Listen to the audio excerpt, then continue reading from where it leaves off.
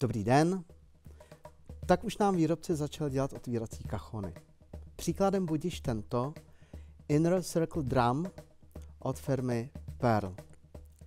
Je to kachon, který má tělo uložené v truhle, to tělo je dřevěné, je to azijský hardwood a truhla nebo ta samotná bedinka je otvírací, to je důležité, a je z laminátu.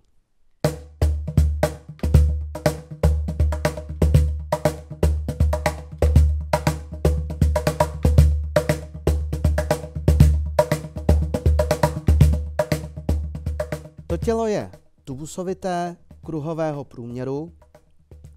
Při otevření eh, té bedinky, té krabičky, vypadá jako malý motor z Boeingu a dá se použít prakticky jak usazen v tom těle laminátovém, tak se dá ten tubus použít jako uh, určitý, uh, určitá odnož džembe nebo uh, konga.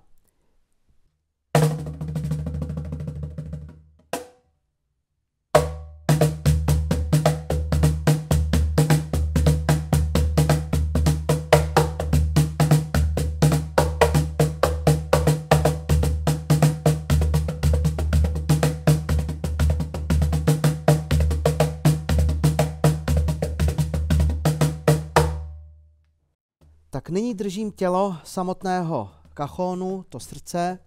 Je to tento tvar tubusoidní, jak jsem již řekl, je vyroben z azijského hardwoodu.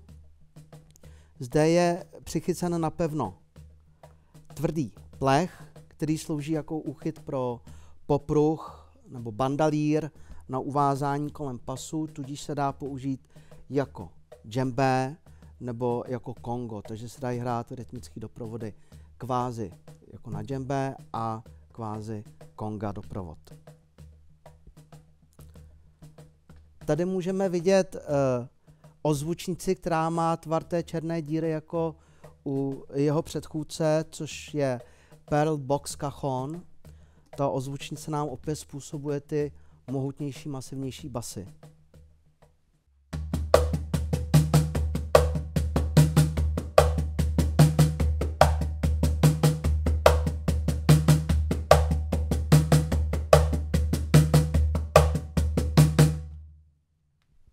Zvuk je opět charakteristický tím, že zevnitř toho kruhovitého těla té desky je opět krátký dvoustruník, který nám způsobuje onen rachtavý, flamenkový eh, zvukový typ toho kachonu. Podle tohoto nástroje můžeme směle říct, že vývoj kachonu jde hodně rychle dopředu, tak uvidíme, jaký nový tvar nám přinese zítřek a co nás překvapí příště.